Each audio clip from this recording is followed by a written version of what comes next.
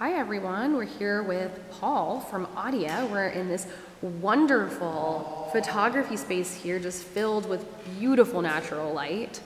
And uh, we're gonna ask him a couple of questions about his business and about his involvement in Six Corners. So first of all, uh, you're ready? I'm ready. Cool. All right, first of all, why did you choose to open up your business here in Six Corners? I, I think the main reason I opened it up is because I like the community and uh, I wanted to get into a space, move the, ma- get out of the madness of downtown and move into an area that was more comfortable for me and more community friendly.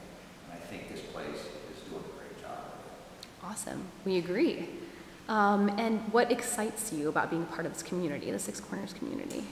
Uh, I think there's a couple different things. One of them is that they are progressive and they are moving forward. Uh, Former Alderman John Arena did a wonderful job of uh, building up this place, bringing in new businesses and uh, restaurants, and, and uh, I just love being part of it. I'm, I'm here to stay.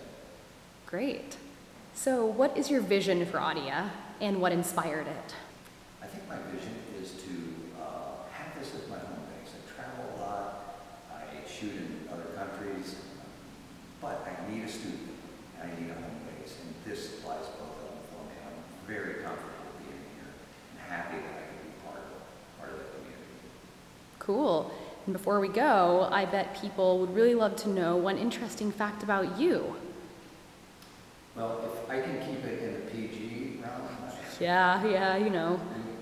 Uh, actually, I used to skydive a lot. I, I, um, I've got about five hundred jumps. Uh, I don't do as much anymore, and, but I, I, uh, my wife and I both used to skydive, and she's actually what got me into it.